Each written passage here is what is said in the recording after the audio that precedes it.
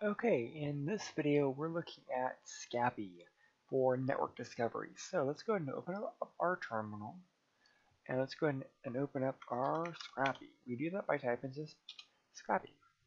So this is going to take a little bit of programming, just get familiar with things. So we want to first of all look at a specific argument. We want to look at IP and there's no information right there. So we're going to set a variable equal to our IP. Now That variable could be anything, but in this example, I'm going to set my variable lowercase i and p. I'm going to set that equal to the protocol IP. Now, from now on, to reference that protocol, I'm going to be using my lowercase.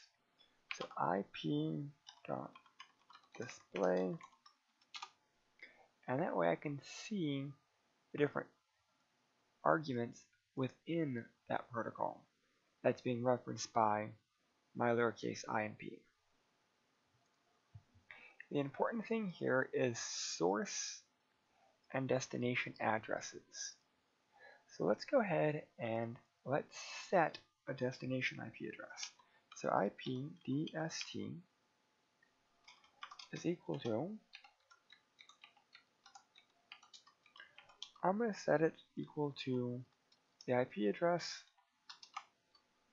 of my server.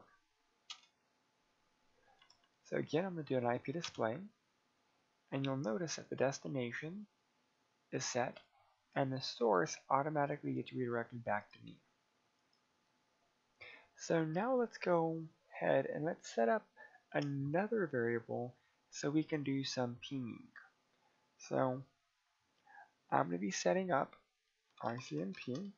That's the protocol, which you don't have to type ICMP, I guess that's the protocol I'm going to be setting up. I'm going to use the variable name ping equals ICMP. And now I'm going to do ping.display, look at the options. And the type of protocol is an echo request. Alright, so now let's go ahead and run this.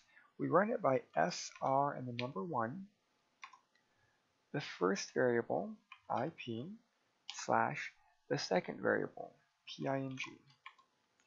And that will actually run with both of these variables. And here I have my response. You notice the source is the server, and the destination is my machine because this is the response packet that I received. So this is one way of viewing it. Another way of viewing it is Windows equal sr1 IP ping. And so you'll notice we don't actually see the received packet. We know we got it but we need to actually then display it. And so here is our window displaying as opposed to a block. The important things to matter or to point out specifically is this TTL. In Windows, if it's a Windows machine responding, it's going to be a TTL of 128. If it's a Linux machine, it's normally 64. So that's one way to see what's responding. Alright, so now the question is uh, arises, can I mask my address? Can I make a different address respond instead? So let's go ahead, we're going to start a new variable. We're going to start with ARP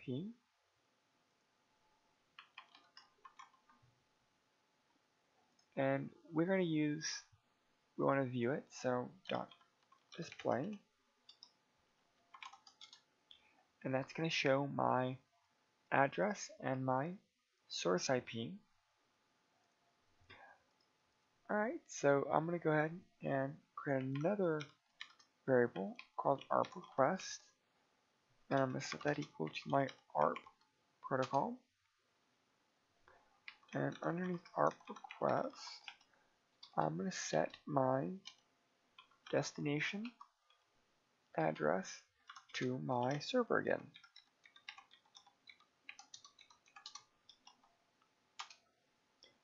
And just so I can make sure that the correct information, I'm going to do my ARP request.display. That will show me my information. And it hasn't quite updated it yet.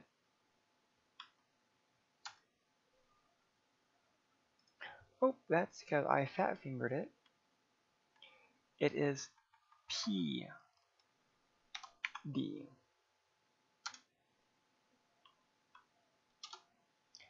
And that way I have my source, I have my destination.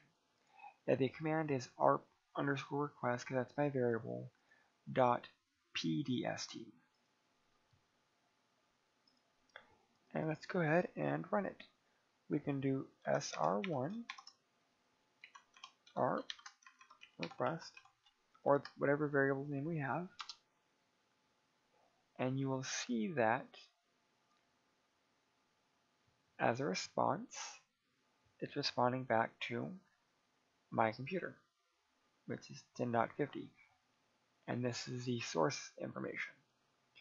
But what happens if we want to manipulate this just a little bit so that we can mask our address? So let's go ahead and arp request. What we're going to do is PSRC we're going to set that equal to a different IP address. 55 doesn't exist in my network, so I'm going to set it so that this machine will respond to 55. And again, I'm going to run it. Sr1 arp request.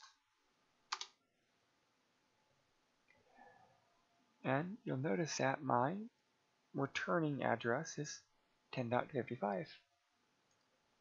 Even if other machines cannot actually access the .55, it knows that when it sends this ping, it's coming from this MAC address, and so this is just a way to mask the IP address. This is just one of many ways. I want to thank you.